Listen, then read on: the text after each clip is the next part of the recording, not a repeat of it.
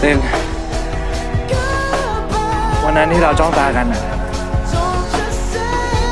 กูเหลืออีกคำถามหนึ่งอะยังไม่ได้ถามเลยอะไรอะ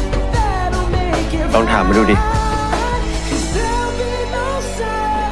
ถ้ากูอยากเป็นแฟนมึงถ้ากูอยากจีบมึงหน้าตู้ปลา ถ้ากูอยากเล่นน้ำเพลงกับมึง ถ้ากูอยากร้องเพลงคู่กับมึงบนเวที ถ้ากูอยากเปิดตัวแฟนมึงผมเป็นประธานนักเรียนลางานประชิม